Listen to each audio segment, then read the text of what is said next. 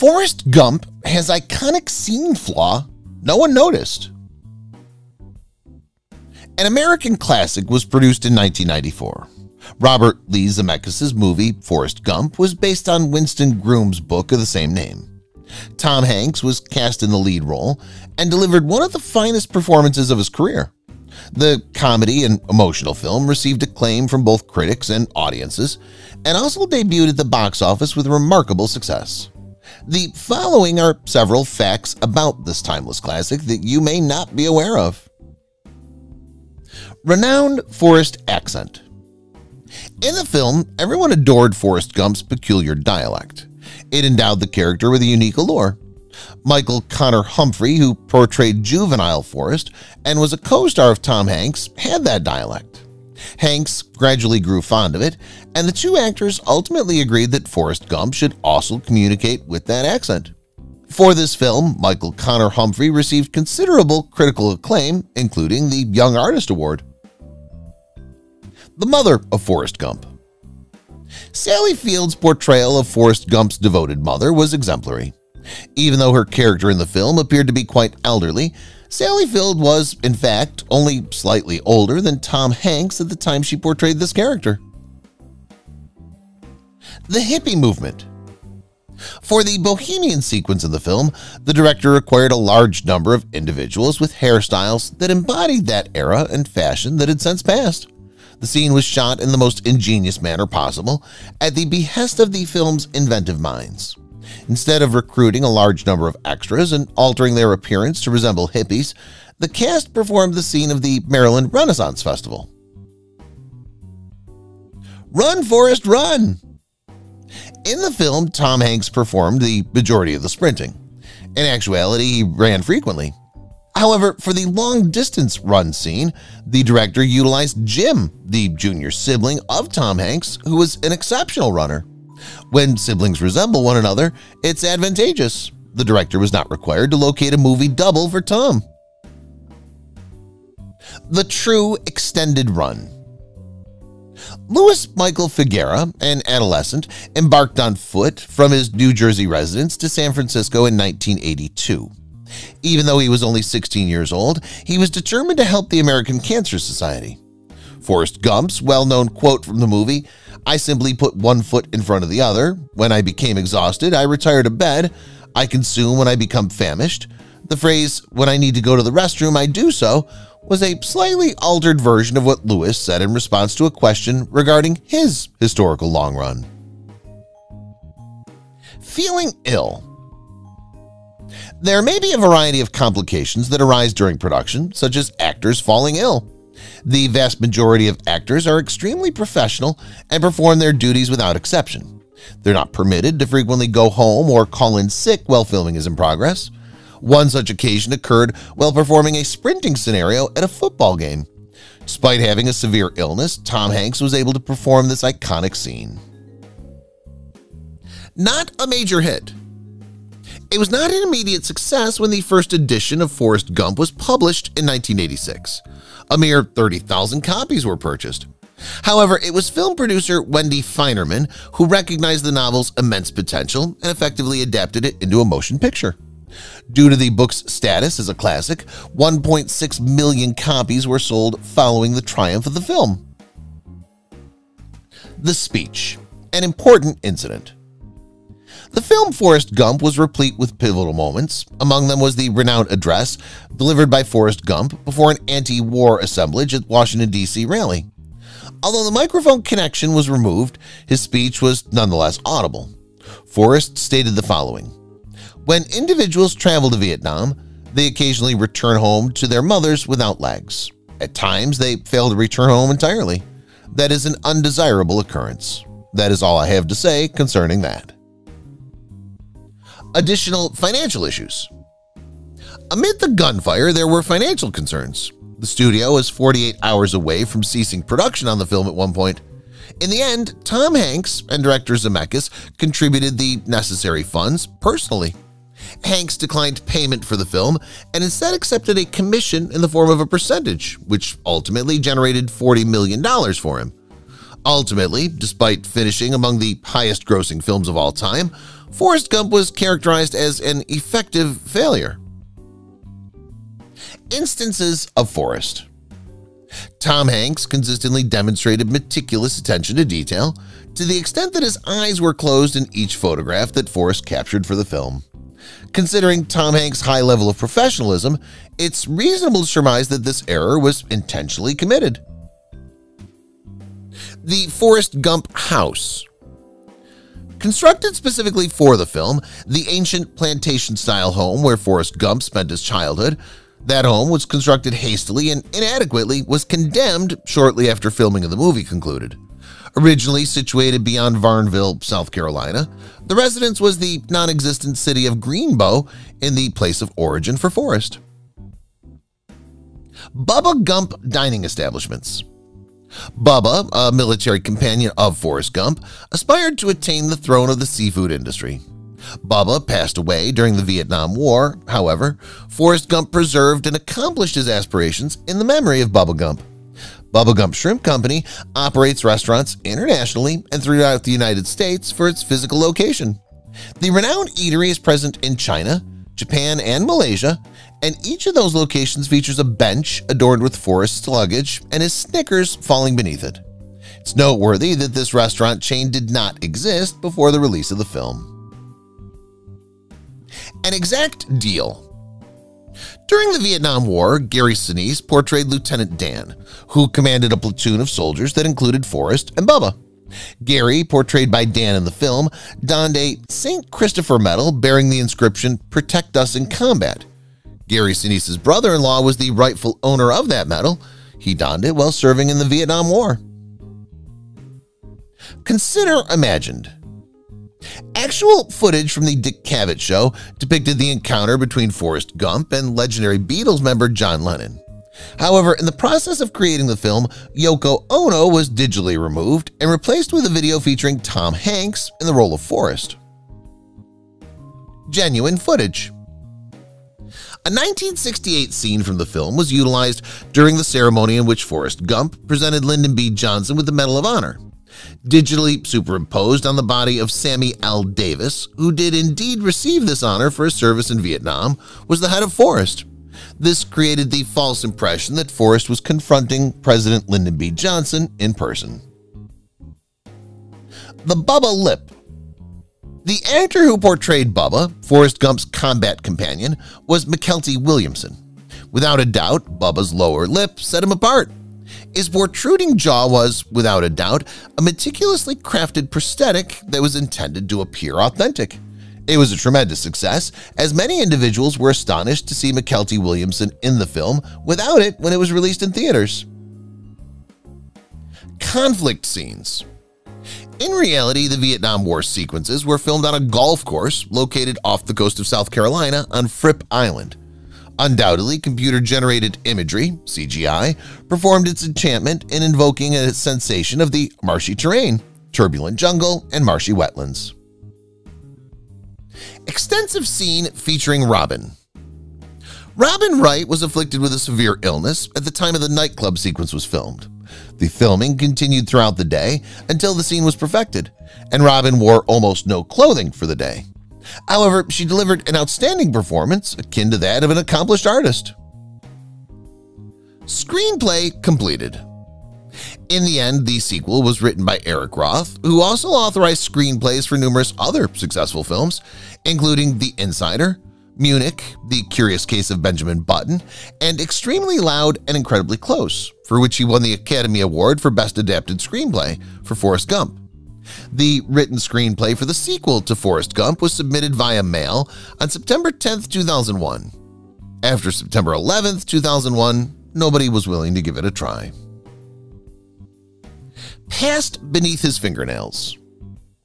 In addition to Tom Hanks, other actors extended the script for the film adaptation of Forrest Gump. John Travolta, Chevy Chase, and Bill Murray were among the other actors in attendance. Fortunately for Hanks, each of them declined, which allowed the ideal actor to take the role. Even now, John Travolta acknowledges his regret at not being cast in the role of Forrest Gump. Dan, Lieutenant An integral character in the film, Lieutenant Dan, portrayed by Gary Sinise, embodied a combination of toughness and vulnerability. Having been crippled by combat, Lieutenant Dan's wounds needed to appear realistic. Due to the lack of advanced special effects technology in Hollywood in 1994, the digital team instructed Gary to wear a blue fabric that discreetly obscured his lower thighs, thereby accomplishing the intended convincing illusion. Genius Edition Mykelti Williamson portrayed Bubba with such conviction that he encountered real-life challenges in securing alternative acting work after the production of Forrest Gump primarily due to the consensus among casting directors that this represented his authentic self, which changed following Williamson's appearance on David Letterman's The Late Show. Achieving improvisation When the character portrayed by Tom Hanks states, My name is Forrest Gump, people call me Forrest Gump, became one of the most memorable lines of the film almost immediately. It's noteworthy that Tom Hanks made this particular sentence up while filming and it wasn't in the original script. As a result of Zemeckis' approval, it was retained in the film. Elvis Presley The famous actor Kurt Russell, who was ultimately uncredited, supplied the voice of Elvis Presley in the film in a practically convincing manner. In 1979, Kurt appeared in a television film about Elvis, which likely facilitated his casting for this role. Additional CGI magic Observing a ping-pong match may be entertaining, but it's extremely difficult to track a ball that ricochets and rebounds off surfaces at a rate quicker than the average human eye can detect. Filming such a scene presents an inherently difficult task, particularly when actors lacking ping-pong experience are involved. Thus, CGI once again performed a feat of enchantment. A ball was not in motion during the match that was filmed. A later addition was the ping pong ball, which was intended to strike the paddle and simulate an actual match. Growing Pains The film Forrest Gump chronicles Forrest's formative years, depicting his development from a young child to a young man to an elderly man who's good-natured but slow-witted. A truly subtle detail exemplifies the graceful progression of his development. Forrest consistently dons the same blue checkered shirt in the opening scene of each critical stage. Neglected Opportunity Several renowned actors declined the opportunity to portray Bubba. Bubba was an original casting offer extended to Dave Chappelle, Ice Cube, and David Alan Grier. David Chappelle believed it was not a suitable film in which to appear as a disabled actor. Ice Cube felt uneasy portraying the character, and David Alan likely had a similar reluctance to accept the role. Mykelti Williamson ultimately capitalized on the opportunity and earned a profit from the film's box office success. The Renowned Bench Forrest Gump resting on the most renowned bench in the world while awaiting his bus, narrating his work. Savannah officials deemed that the bench to be an excessive asset due to its widespread use and decided to safeguard it from the unfavorable Savannah climate and potential thieves. Consequently, the bench that was originally situated in Chippewa Square, Savannah, Georgia, was relocated to the Savannah History Museum. A mistake Probably the only error in the film was present in the running scene's timeline. According to Forrest Gump, he'd been in the race for three years and two months. However, he began running on October 1st, 1979, the day President Carter fainted from heat exhaustion, and continued running until he received Jenny's letter on March 30th, 1981, the day President Reagan's assassination attempt was all over the news. A period of precisely one and a half years isolated the first and second events. The Extras an unpleasant experience accompanied juvenile Forrest Gump on his first school bus journey. The children on the transport ridiculed him upon his arrival. These toddlers were in fact the offspring of the individuals who produced the film. Alexander, the son of director Robert Zemeckis, is the young man in question. Elizabeth, the daughter of Tom Hanks, is the lady who shuns Forrest Gump. Prominent props There are Bubba Gump establishments located in every country on Earth. Although the majority of them are located in the United States, certain establishments offer more than mere shrimp dishes. Guests can view the authentic prawn skiff from the film in downtown Disney. Prominently displayed on the wall of one of the restaurants are the ping pong paddles that Forrest Gump utilizes in the film, providing an opportunity for admiration by patrons. Additionally, Tom Hanks' signature appears. Eliminated scene a particular scene was omitted from the film at the request of director Zemeckis due to concerns that it contained racial connotations and could potentially offend African-American individuals. When Forrest Gump leapt to divert the attention with a game of retrieve, riot police flanked Reverend Martin Luther King Jr. as they released a German Shepherd dog. The aforementioned scene is accessible via the Special Collector's Edition DVD. Many of Forrest Gump's abilities Forrest Gump achieves tremendous success in football in the film due to his extraordinary sprinting abilities. After completing his service in the Vietnam War, he emerged victorious in an international ping-pong competition. However, within the novel, Gump's domains of competence expand even further. Forrest Gump not only excels at chess, but also serves as an astronaut and a professional wrestler. Wendy Finerman, producer of Tough Pitch Film, was so captivated by the novel of Forrest Gump that she resolved to adapt it into a motion picture. In 1986, no one in Hollywood shared her enthusiasm. No one was genuinely interested in this film until she secured Tom Hanks for the starring role, nine years after she first proposed the concept. Tom Hanks, conversely, immediately recognized the story's potential. Signing onto the film took him precisely one and a half hours after his perusal of the script. An encore opportunity of a lifetime. During the filming of the scene where Forrest Gump returns from Vietnam on Capitol Hill in Washington, D.C., director Zemeckis approached a few travelers who were passing by and requested their assistance with this specific scene. Due to their fortuitous location and timing, the couple traveling from Atlanta, Georgia were cast as actors in the film. Additionally, they were allowed to deliver a few lines. Excellent timing and a dash of good fortune are unparalleled. Book reproduction A genuine tale, Forrest Gump, is an adaptation of a novel. The screenplay closely resembles the novel, albeit with a few notable differences. For instance, Tom Hanks' character, Forrest, has an endearing, infantile naivete in the film. Forrest is portrayed as a more sardonic cynic in the novel. Forrest says in the opening scene involving the chocolate box, My mother always said that life was like a box of chocolates. One can never predict what they'll receive. The book commences differently. Permit me to say this, a box of chocolates is not being an imbecile.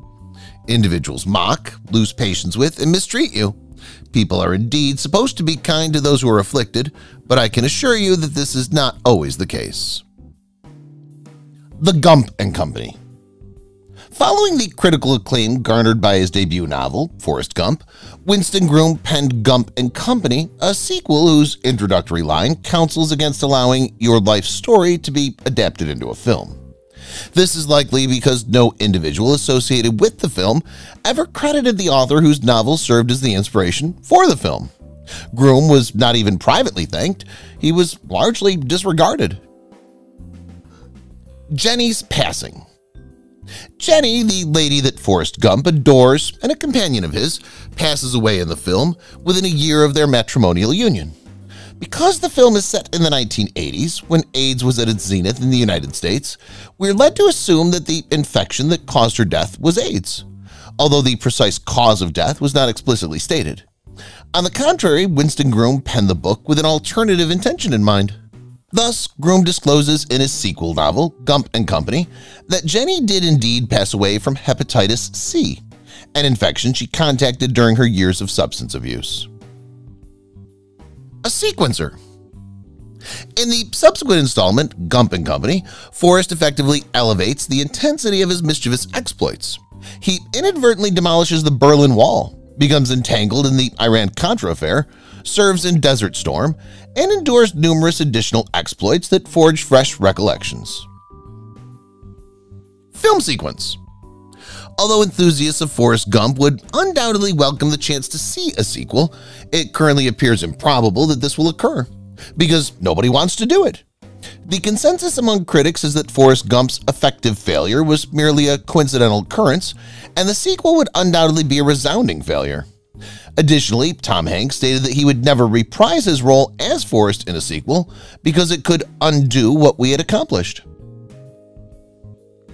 an excellent year for film enthusiasts. In 1994, Forrest Gump debuted in theaters, the same year that several of the greatest films of all time were released, including Pulp Fiction, Shawshank Redemption, and Jurassic Park. Film enthusiasts from around the globe delighted in viewing these films to the point where they eventually became considered classics. Despite facing stiff competition, Forrest Gump debuted at number one at the box office and remained in theaters for an impressive 42 weeks. It grossed an astounding $677 million, placing it as the film with the fourth highest gross of all time. Contrary opinion the author of the novel Forrest Gump, Winston Groom, was only compensated $350,000 for the rights to the screenplay. He elected to receive 3% of the film's net profits, however the film failed to generate a profit, leaving him with no earnings. Groom and Paramount Pictures had a dispute, which subsequently came to an amicable resolution after Paramount's acquisition of the script rights to one of Groom's other novels.